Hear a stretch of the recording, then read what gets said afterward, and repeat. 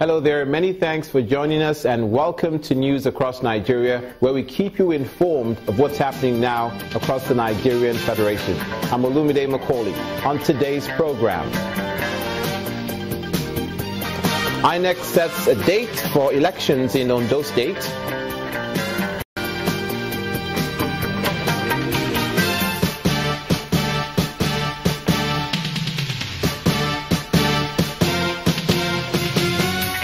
Benue State staff verification exercise.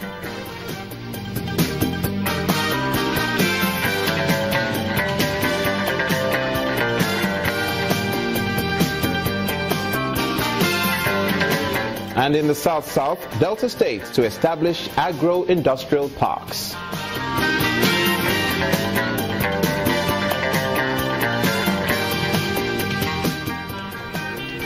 Thank you so much for joining us. We begin with electoral matters in the Southwest. All is now set for the governorship election in Ondo State as the Independent National Electoral Commission, INEC, have announced November the 26th, 2016 for the polls to hold.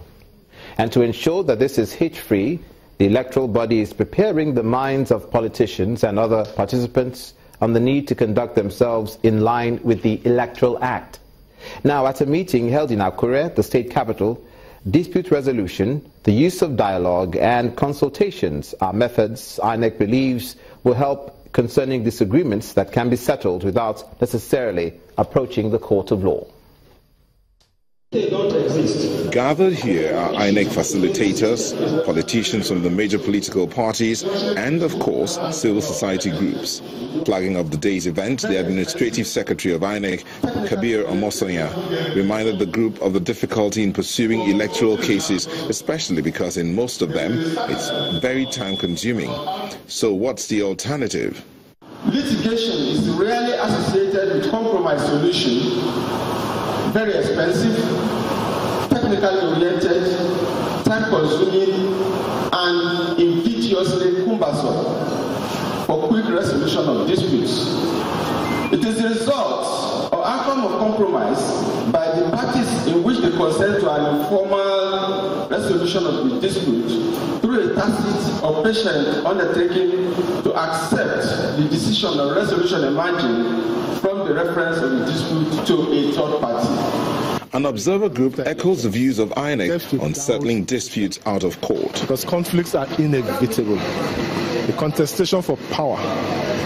In a state, only one person will emerge as the governor. And we have so many people who are ably qualified.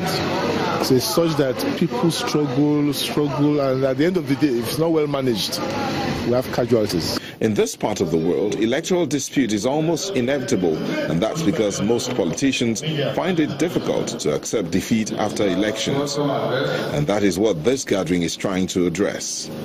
Alternative uh, dispute resolution uh, bring uh, normally bring a lasting solution. Because when you sit down at the round table and talk it over, it makes the friendship more stronger. It made the relationship more stronger than courts. Alternative uh, dispute resolution, at least we enhance and reduce the cost of litigation. It's just two months away to the Ondo governorship elections, and what INEC is trying to achieve is to prepare the minds of politicians that such litigations should not be the first option when electoral disputes come to play. From the southwest, INEC is also very busy in the south-south ahead of the governorship elections in Edo State. The Independent National Electoral Commission has begun the distribution of non-sensitive material. The resident electoral commissioner, Mr. Sam Olumekun, says INEC's timetable for the polls is still on course, but appealed to people to collect their permanent voter cards of the Independent National Electoral Commission, INEC, preparing to dispatch non-sensitive election materials for the Edo 2016 governorship election at the INEC headquarters in Benin City, the Edo state capital. The election tools are set for distribution to the 18 local government areas of Edo state. Preparation for the September 10, 2016 polls is now in the advanced stages as INEC also concludes training of ad hoc staff who will serve as supervisory presiding officers. These civil servants from federal establishments and other persons drafted to work during the Edo 2016 governorship election are taking part in INEC training sessions. 004, the resident electoral commissioner for Edo State, Mr. Sam Olumekun, says INEC will do a proper screening of the makeshift staff. This group, they play a key role because they will now go down to train the other ad hoc staff. Indeed, that is really the focus. And so when you hear people saying we have uh, trained, we have uh, uh, appointed some people on partisan basis, that is why it looks ridiculous. These ones are going out there to train those who will preside during the elections. So that's why we have been very careful in our choice and they are people of uh, credibility. He also noted that the number of uncollected permanent voter cards with INEC is a source of great concern. Cards in the disposal, at the disposal of uh, INEC as we speak is in excess of 400,000. We have been calling on people to come out and pick up their cards if they are genuine, but they have not been showing up. So which cards are, these, are people purchasing? In any event, the last exercise we did, we are expecting to have the cards any moment from now and we'll start distributing also. The Independent National Electoral Commission is showing full commitment to conducting a credible and fair 2016 governorship polls in Edo State. Away from elections but staying with party politics, the leadership tussle threatening to tear apart the People's Democratic Party at the national level is also affecting the party's unity at the states. In Imo State, party members and their leaders are divided into two factions, the Ahmadu Sheriff camp and the Ahmed Makarfi group. The dispute is over the control of the party structure. But to douse the tension, the Makarfi group has set up an 18-man reconciliation committee to look into the matter.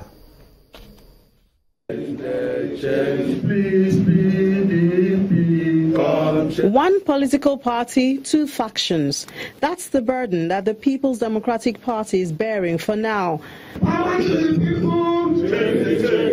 The latest confusion facing the party is who controls the party's political structure. Both the Sheriff and Makarfi factions in Imo State have continued to lay claims to the ownership structure of the State Working Committee with different state chairmen.